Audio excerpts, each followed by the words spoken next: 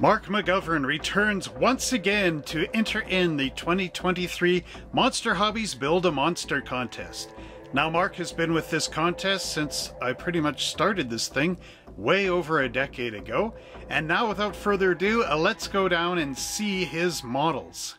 Mark's first entry into the Build a Monster contest for 2023 is in MON MH3 Totally Wild.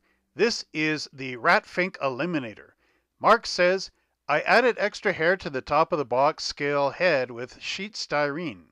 The eye was accurized by sanding the iris flat, drilling out the pupil, and adding a clear dome for the cornea.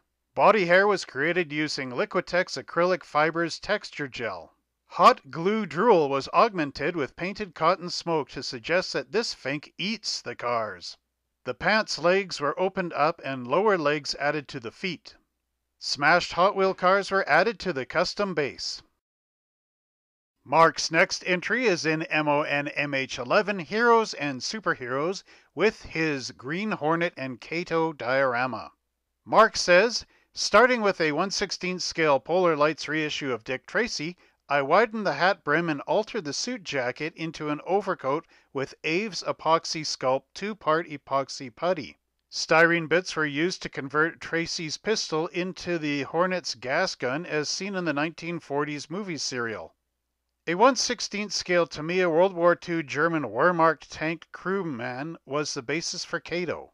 The standing figure's limbs were repositioned to fit into the fire escape.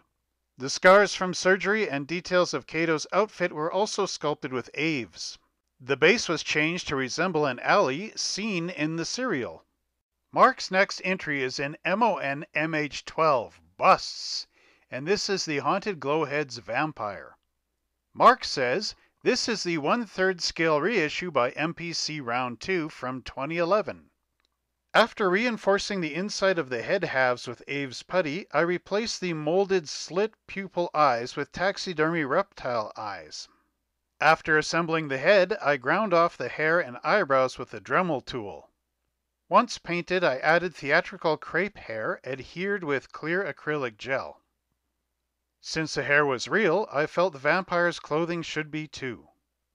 It's covered with silk from an antique umbrella with pieces cut from a handkerchief for the shirt. Mark's final entry is in MON MH2 Concepts and One of a Kinds.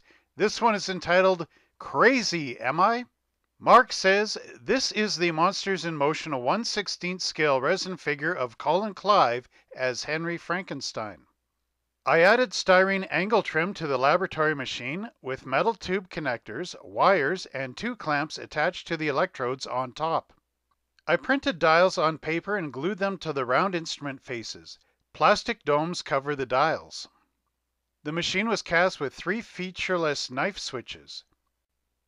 I removed them and used only the hands to make two more accurately detailed switches from sheet styrene and tube.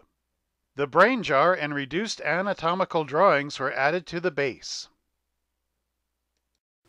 Well, how did you enjoy Mark McGovern's models for this year? Let us know which one was your favorite in the comments down below.